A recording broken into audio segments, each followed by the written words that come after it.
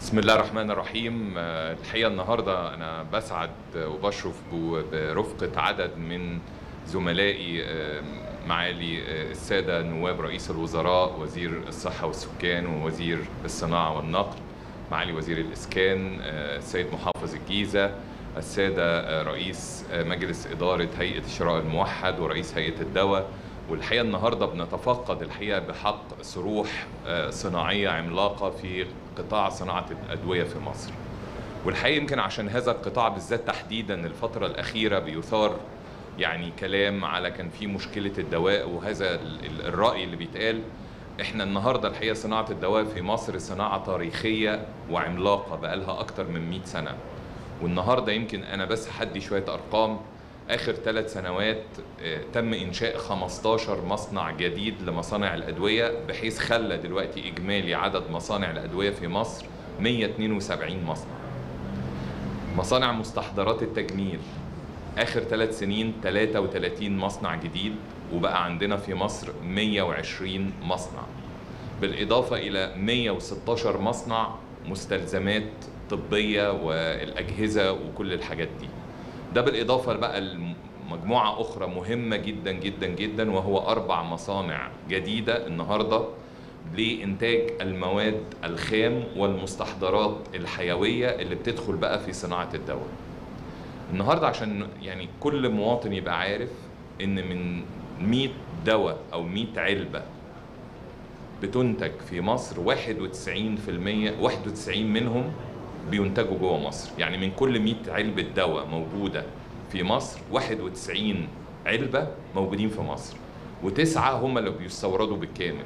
ودول في أدوية متقدمة جدا زي أدوية الأبرام وبعض الأدوية الأخرى اللي إحنا بنسعى النهاردة إن برضو نوطن هذه الصناعة هنا في مصر.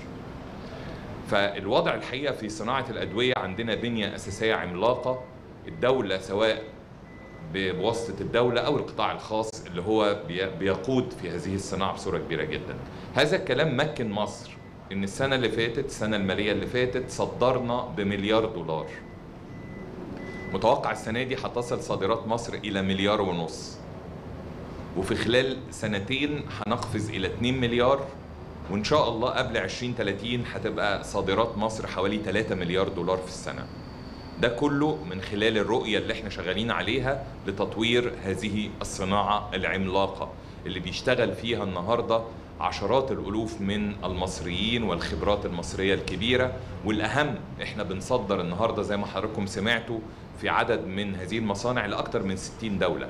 وهنا مش بتكلم فقط على دول نامية لا إحنا عندنا مستحضرات بتصدر إلى الدول العالم المتقدم أوروبا وعدد آخر من الدول بتصدر من خلال هذه المصانع. المصانع دي اللي سندت مصر والحمد لله بقى عندها قدرة أثناء آه، وباء كورونا إنها تنشئ وتنتج أيضا ال- ال- الفاكسين اللي كان خاص بهذا الموضوع. والحقيقة اللي إحنا شفناه النهارده آه، قطاعات وخطوط كاملة لإنتاج الإنسولين والادويه الخاصة بالأمراض الساريه. أنا بقول كل هذا الكلام عشان أكد لحضراتكم واللي إحنا وعدنا بيه إحنا النهارده عشان حضراتكم تبقوا عارفين منذ أغسطس الماضي يعني بقالنا أقل من شهرين 133 مليون عبوة أنتجت لحوالي أكتر من 360 نوع دواء ومستحضر عشان نغطي النقص اللي كان موجود والنهارده أقدر أقول لحضراتكم ان إحنا كان عندنا 580 دواء. دول كانوا هم اللي فيهم بعض أو النقص وكانوا عاملين الأزمة. النهارده الحقيقة منهم حوالي 470 حلينا مشكلتهم ومتبقي 110 هيخلصوا على الشهر القادم. فأنا حابب بس إن أنا أأكد إنها يعني هذه الأزمة الحمد لله في سبيلها للزوال التام. وبالعكس إحنا بنتكلم على تغطية كاملة لإنتاج الدولة المصرية واحتياجاتها وأيضا التصدير بصورة كبيرة جدا. فأنا الحقيقة كنت حابب أقول هذا الموضوع والموضوع ده كمان أنا عايز أأكد لحاجة شيء مهم. الكلام ده بيحصل في إطار منظومة كبيرة جدا من المراقبة والتتبع للجوده بتاعه إنتاج الأدوية واللي بيقوم على هذا الموضوع طبعا هي هيئة الدواء المصرية. هيئة الدواء المصرية هي هيئة مستقلة تماما بموجب قانونها. وبأكد إن إحنا في هذه الهيئة إحنا بنتبع كل الإجراءات والقوانين العالمية والمعايير اللي وضع لها اللي وضعاها لينا منظمة الصحة العالمية.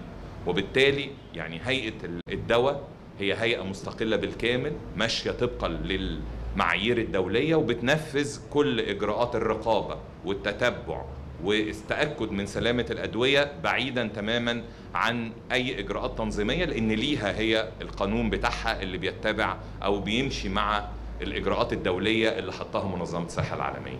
أنا حبيت بس إن أنا أأكد هذا الموضوع وحضراتكم تعرفوا إن الحمد لله يعني مشكلة الدواء في سبيلها تماما للزوال في خلال الأيام القليلة أو الفترة القادمة إن شاء الله زي ما وعدنا حضراتكم وبإذن الله يبقى الكميات كلها المطلوبه من كل أنواع الأدوية هتبقى متاحة في خلال الأسابيع القليلة القادمة. أنا حابب أترك الكلمة لزميلي معالي وزير الصحة عشان برضو يرد على الموضوع اللي بيثار على مدار اللي أنا اتكلمت عليه يوم الخميس وما زال الموضوع عمال في يعني كلام على ال social media وهو الموضوع الخاص بأسوان. معالي الوزير. أشكرك دولة الرئيس اسمحوا لي حضراتكم يعني إحنا من خلال رصدنا الفترة الماضية على ما يتم تناوله الخاص ببعض الحالات المعدلات الإبلاغ عن بعض حالات النزلات المعوية الحادة في محافظة أسوان حابب إن أنا اشرك حضراتكم في بعض المعلومات حتى يمكن الانتهاء من التقرير النهائي إن شاء الله في خلال 48 ساعة. الحقيقة الموضوع بدأ من يوم 11 سبتمبر لما رصدنا من خلال أجهزة الرصد في وزارة الصحة والأجهزة المعنية من قطاع الطب الوقائي إن في بعض الحالات بيتم ترددها على المستشفيات في محافظات محافظة أسوان محافظة تحديدا في مستشفى الصداقة التخصصي مستشفى المسلة ومستشفى الجامعة ومستشفى دراو الأربع مستشفيات إحنا عندنا نظام ترصد مركزي بيتم الإبلاغ عن أي حالة بيتم فيها نوع من أنواع الزيادة وبالتالي من يوم 11 سبتمبر لحد النهارده لقينا إن معظم الحالات اللي جاية جاية من منطقتين في أسوان منطقة اسمها أبو الريش ومنطقة ثانية بعض القرى المحيطة بدراو. الحقيقة من خلال التعامل مع الحالات اللي إحنا شفناها اللي هي أغلبيتها حالات نزلات معوية حادة ممكن تكون نتيجة تلوث في الطعام، تلوث في الشراب سواء داخليا أو هم يعني تلقوا بعض الانواع التي يمكن أن تؤدي إلى هذه الحالات. من هذا التاريخ الحقيقة من 11 سبتمبر للنهاردة إجمالي اللي دخل المستشفيات اللي احتاج إن هو يتردد على المستشفى ثم احتاج حجز في المستشفى 128 حالة خرج منهم 22 حالة في تحسن وبعض الحالات البسيطة موجودة تحت الرعاية المركزة نتيجة إن هم قعدوا فترات طويلة. طبعا النوع ده من النزلات المعوية الحاده بيبقى فيه فقد للسوائل شديد جدا إن بيبقى فيه إسهال وبيبقى فيه غثيان وساعات الناس بتتعامل معاه بشكل بسيط. إحنا بنقول إن لو في عندك حاجة زي كده لو سمحت ارجع للمستشفى لأنها العلاج في هذا الموضوع هو تعويض للسوائل وفقدان السوائل عن طريق محاليل معالجة الجفاف وبعض المضادات الحيوية البسيطة جدا اللي هي ممكن في هذا الموضوع من خلال يومين لخمس أيام ينتهي الموضوع في الآخر. وبالتالي إحنا من من ساعة ما تبلغنا بهذه الحالات تم تكليف فريق كامل من قطاع الطب الوقائي بالوزارة بقيادة نائب الوزير للطب الوقائي والتوجه إلى أسوان هم موجودين وإحنا بنتكلم دلوقتي مع فرق عمل بالكامل علشان نقدر إن إحنا نعمل تنسيق والحقيقة حصل تنسيق مع زمايلي في وزارة الإسكان والمرافق وشركة القبضه لمياه الشرب وأيضا مع السيد المحافظ علشان نقدر أهم حاجة في هذا الموضوع ان إحنا نطمئن على أسباب التي أدت إلى بعض النزلات المعويه اللي إحنا شفناها. واشتغلنا على ثلاث محاور الحقيقة. المحور الأول هو التأكد من سلامة مياه الشرب وبالتالي في 103 محطة مية شرب في محافظة أسوان تم الأخذ بعينات منها وبالتالي قدرنا نطمئن بشكل تام على جاهزية وعلى مأمونية مياه الشرب من خلال المحطات. المحور الثاني هو التوجه إلى المستشفيات من فرق العمل والتأكد على استعداد المستشفيات لاستقبال الحالات. زي ما قلت لحضراتكم عدد الحالات يعني مقارنة بمليون و650 ألف مواطن هم سكان محافظة أسوان. يعتبر عدد حالات بسيط اللي تم رصد وفي أماكن محددة.